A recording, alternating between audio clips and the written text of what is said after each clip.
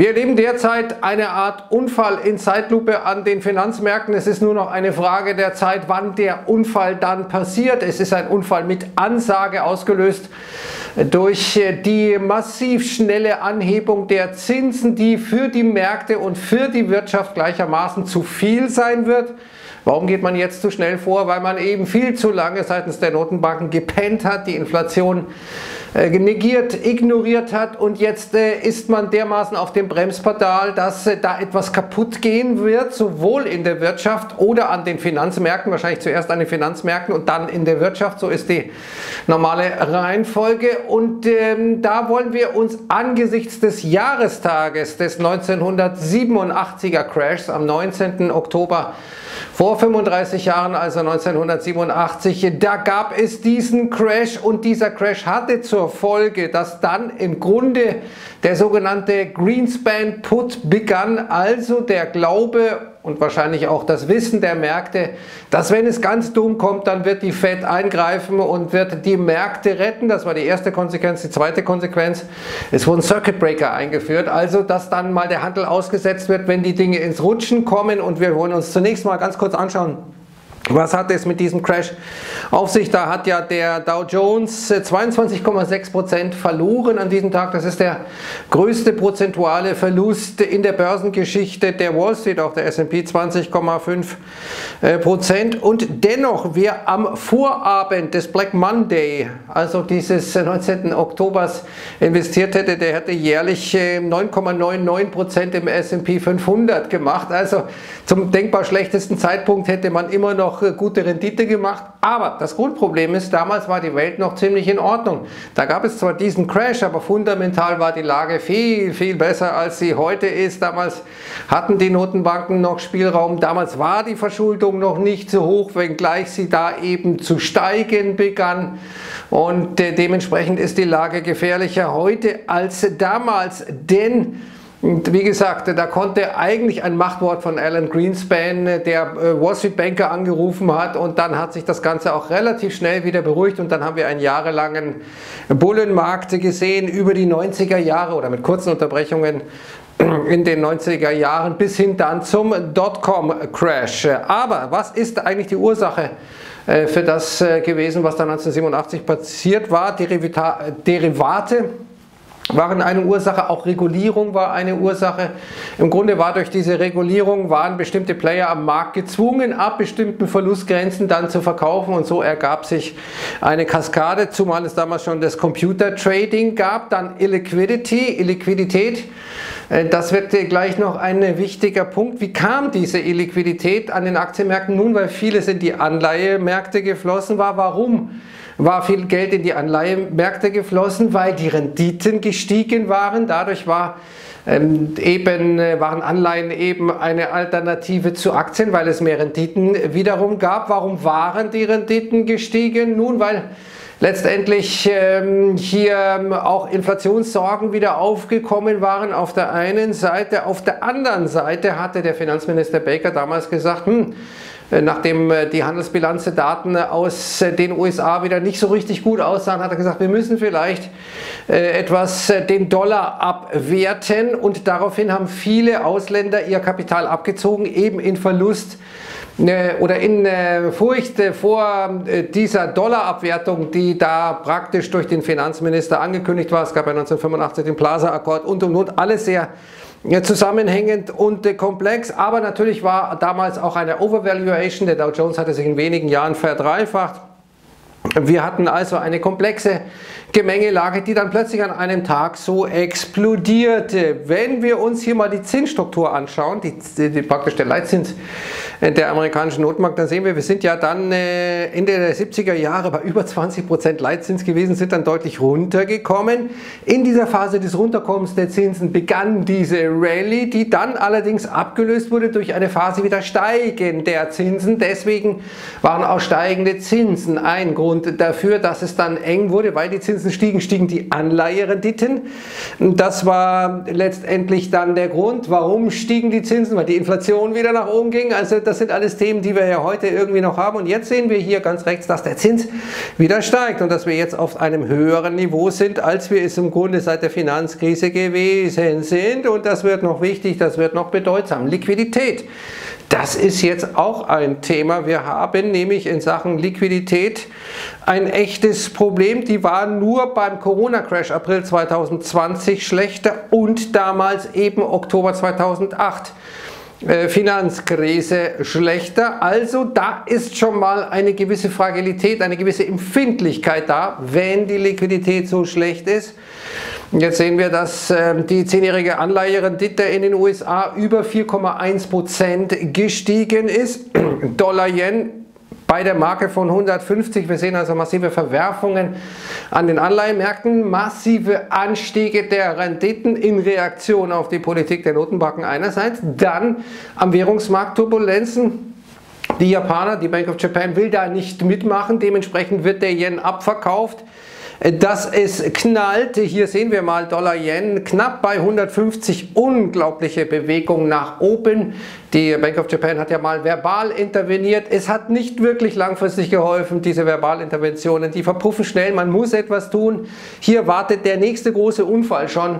Äh, auch der japanische Markt könnte hier praktisch für diesen Unfall sorgen oder der erste Dominostein, der dann diesen Unfall praktisch ins Laufen bringt. Der Chart übrigens. Ja, der ist von capital.com. Falls Sie jetzt die Frage ist, stellen, von wem stammt denn dieser wunderbare Chart? Und ich weiß, dass in den Kommentaren immer wieder die Frage gestellt wird, ja, von wem ist dieser Chart? Ja, aber deswegen will ich es ja mal auch beantworten. So, jetzt gucken wir uns mal die Lage an, die sich jetzt ergibt. Die Bank of England musste ja zur Rettung von Pensionskassen eingreifen. An den Anleihenmärkten musste praktisch wieder QI betreiben, Anleihen kaufen. Jetzt kommt die Rechnung. Das Finanzministerium äh, in Großbritannien muss jetzt mal eben 11 Milliarden Pfund an die Bank of England überweisen, weil die eben durch diese Aktionen Verluste gemacht hat. Und jetzt sehen wir auch bei der Fed, dass da massive Verluste anfallen, denn das, was die Fed durch ihre Anleihen, die sie im Portfolio hat, an Zinseinnahmen generiert, ist viel weniger als das, was sie an Zinsen bezahlen muss, etwa den Banken, wenn die Geld bei ihr parken. Also entstehen hier Verluste. Das heißt, durch diesen Zinsanstieg entstehen jetzt Verluste der Notenbanken, die die öffentliche Hand dann refinanzieren muss. Das wird nicht anders gehen und je stärker die Zinsen steigen, umso stärker werden die Verluste werden. Und wenn wir uns jetzt mal anschauen, was aktuell passiert, dann sehen wir hier mal den Ölpreis, der ja praktisch schon eine Art Konjunkturbarometer auch ist. Und hier die sogenannte Rate of Change. Und immer wenn die unter Null fällt, dann oder nicht immer, aber sehr, sehr oft, dann ereignen sich bald gewisse Unfälle. Der 1987er Crash ist kurz nach diesem Fallen bei der Rate of Change unter die Nullermarke gekommen. Dann der 1990er ähm, Crash, also 87er Crash, da werden wir wieder beim Thema 90er ähm, Rückgang zumindest, oder da ging es ja auch, äh, hat es ziemlich äh, gescheppert. Dann Dotcom-Blase, dann Finanzkrise.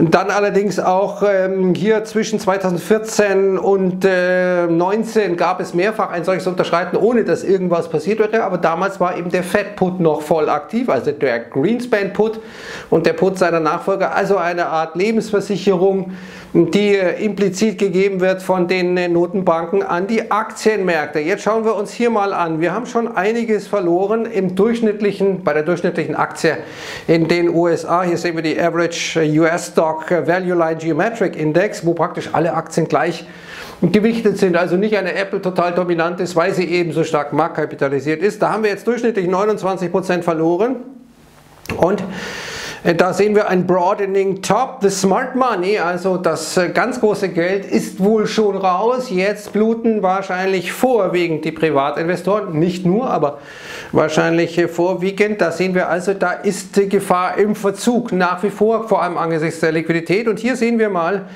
die Zinskurve zwischen der dreijährigen und der zehnjährigen US-Staatsanleihe. Darauf achtet die Fed auch besonders und wir sehen, wir sind jetzt kurz davor zu invertieren. Das wäre das erste Mal seit dem äh, Corona-Crash, kurz vor dem Corona-Crash. Und dann eben als äh, praktisch das sicherste Zeichen für eine Rezession. Inversion der 2- und 10-Jährigen gilt als Zeichen, aber noch mehr Plausibilität, noch mehr Beweiskraft, noch mehr historische Evidenz hat eben eine Invertierung der Zinskurve zwischen der 3- und der 10-jährigen US-Staatsanleihe. Also da kommt etwas. Und wir sehen hier diesen Unfall in Zeitlupe bei den Renditen. Wir gehen absolut vertikal nach oben. Wir sind jetzt auf dem höchsten Level, was die zweijährige Anleiherendite in den USA betrifft, seit dem Jahr 2007 mit einer negativen Divergenz, die sich gewaschen hat. Wir werden wahrscheinlich massive Rückgänge der Renditen sehen. Die Frage ist nur, wann.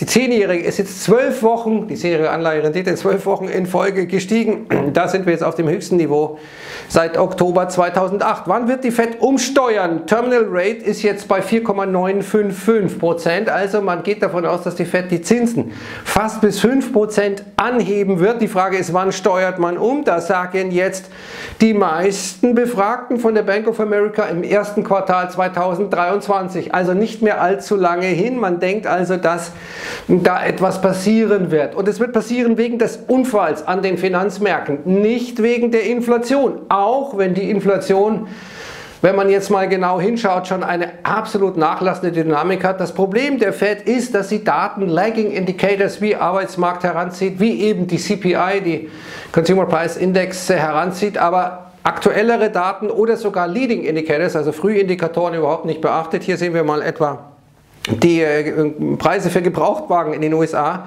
mit dem größten Rückgang äh, von Jahr zu Jahr äh, ever before minus 10,4 Prozent. In der Finanzkrise war der maximale Rückgang 9,1 Prozent gewesen. Und wie gesagt, das ist eben jetzt äh, so, dass die Fed sich nur noch an solchen alten Daten orientiert, weil sie sich eben festgebissen hat an dem Thema, weil sie um ihre Glaubwürdigkeit fürchtet, weil sie eben gepennt hat bei der Inflation wie andere Notenbanken auch. Den Stress sehen wir schon am Immobilienmarkt in den USA. Gestern ja der NHB Hausmarktindex, die Stimmung praktisch komplett abgestürzt. Heute hatten wir ganz schwache Baubeginne gesehen, Baugenehmigungen etwas besser, aber wir sehen auch die Mortgage Applications, also Hypothekenanträge, gehen immer stärker zurück. Jetzt so wenig wie seit 25 Jahren nicht mehr. Da kommt ein Crash am US-Immobilienmarkt, der sich gewaschen hat. Und das passiert im Grunde jetzt schon in Schweden.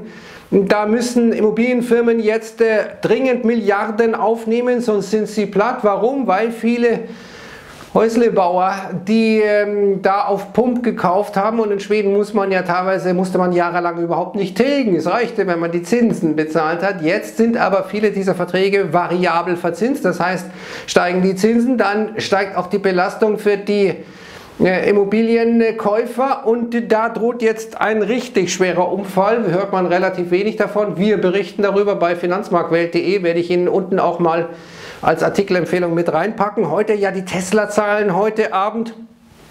Da erwartet man einen Gewinnsprung. Eigentlich die Range sehen Sie hier. Man erwartet, dass die Aktie zwischen 202 auf der Unterseite und 220 äh, und äh, 20 Dollar auf der Oberseite agieren wird. Also sehr, sehr große äh, Bandbreite. Und erstaunlich ist, dass Tesla still und heimlich gestern äh, mal äh, auf seiner Internet Internetseite gesagt hat, öh, wir senken jetzt mal die Erwartungen, die EPS, also Earnings per Share, Gewinn pro Aktie Erwartung mal eben um 8,3 Prozent hat keiner gemerkt, eigentlich fast keiner.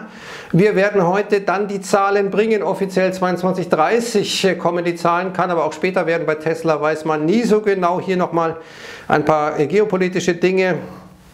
Hier Chinas Militär jetzt offenkundig on High Alert in Sachen Krieg, äh, Taiwan, USA. Also da scheint man ein bisschen seitens der Top-Militärs in China äh, hier, ähm, naja, die Alarmglocken zu läuten, zumal jetzt die Amerikaner wohl gemeinsam Waffen herstellen wollen mit den Taiwanesen. Also das spitzt sich immer mehr zu. Auch das im Grunde ein Unfall in Zeitlupe und ein Unfall mit Ansage. Auch das, äh, was äh, in der Ukraine passiert, vor allem in diesen vier annektierten Distrikten der Ukraine. Da hat jetzt Putin ja bekanntlich das Kriegsrecht ausgerufen. Das Weiße Haus wiederum versucht jetzt zu vermeiden, dass bei dem G20-Treffen Putin mit äh, Biden dann zusammentrifft. Man will seitens der Berater von Joe Biden offenkundig dieses Zusammentreffen nicht haben. Warum auch immer nicht. Jedenfalls hat Putin einen neuen Kumpel, das ist der Ratschip. Der Erdogan, der wird jetzt offenkundig einen Gashub machen für Europa, also nicht mehr Nord Stream. Das, da versucht man jetzt eine Alternative zu machen und versucht praktisch das Ganze über die Türkei abzuwickeln. Interessant. Jetzt äh, dürfen, müssen wir auch sehen, dass äh, die Türkei versucht jetzt auch Gold äh, zu kaufen, aber jedenfalls äh, die Tür türkischen Exporte nach Russland auf neuem Allzeithoch sind. Also die Herrschaften verstehen sich offenkundig gut. Und wenn wir jetzt mal das Verhältnis Deutschland-Amerika uns äh, anschauen, da hat Habeck heute gewarnt vor dem Inflation Reduction Act, den die Amerikaner in die Welt gesetzt haben. Das ist äh, in diesem Jahr erst äh, beschlossen worden. Man will heimische Energieträger fördern, versucht die Kosten für die Amerikaner runterzubringen. Alleine das CBO, also praktisch das äh, Congressional Budget Office, das überparteilich ist, sagt, das wird keinen Effekt haben. Habeck scheint aber daran zu glauben, weil er gesagt hat, ähm, das ist ungerecht, was da passiert. Amerikanische Kommentatoren, die durchschauen, dass das natürlich die Inflation nicht runterbringt, sagen, glaubt er wirklich, dass dieser Inflation Reduction Act ihre Inflation nach unten bringt. Aber der Robert ist ja kompetent in jeder Hinsicht. Jetzt sitzt er mit der Alanela da am Lagerfeuer und sagt Atomkraft, nein, danke. Und dann sagt ähm, die gute Frau Baerbock, äh, du Robert, die Idee mit der Energiewende war wirklich cool. Die hatte ja die Frau Merkel, aber die Grünen sind ganz große Anhänger. Zurück zu den Anfängen, hurra! Wir sind auf dem besten Weg dahin. Zwei Artikelempfehlungen noch am Schluss. Energieversorger schlagen Alarm. Die Situation spitzt sich immer weiter zu. Man sagt, man wird wahrscheinlich nicht in der Lage sein, zuverlässig Industrie und andere zu versorgen, wenn es so weitergeht. Hauptsache, äh, gell, wir schalten die Atomkraftwerke 2023 ab, aber wir haben es ja, gell, wir wissen ja gar nicht, wohin mit der vielen Energie, die, die wir haben. Ja, das ist, ne, äh, vielleicht der Ratschip, äh, dass er uns da was liefert, gell, wenn wir nett zu ihm sind. Ne?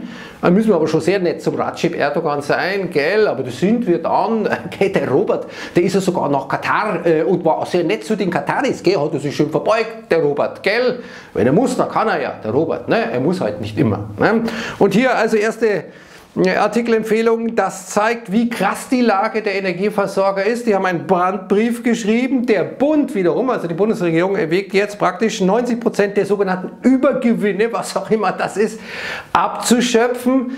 Da sind wir konkret auf dem Weg zum Sozialismus. Es gibt gute Gewinne, es gibt böse Gewinne. Die allermeisten Gewinne sind böse. Damit will man die Strompreisbremse für die Konsumenten ähm, äh, praktisch finanzieren. Das ist schon Sozialismus in Reinkultur. Ich bin ja durchaus dafür, dass man den Leuten hilft, aber die Konsequenzen werden eben harsch sein. Und dann noch ein Artikel, meine Damen und Herren, den ich Ihnen dringend empfehle. Anleihen, sind Sie eine gute Alternative zu Aktien? Ich hatte öfter schon über Anleihen gesprochen. Hier erfahren Sie wirklich Wichtiges über Anleihen, wie Sie die finden, welche Anleihen, wie der Markt da verteilt ist. Hervorragende Artikel. Also drei Artikelempfehlungen. Schweden einerseits, dann Energieversorger und jetzt eben die Anleihen, gute Alternative zu Aktien, Fragezeichen. Und 22.30 dann Tesla bei Finanzmarktwelt, da werden Sie informiert. Ich sage Servus und Ciao.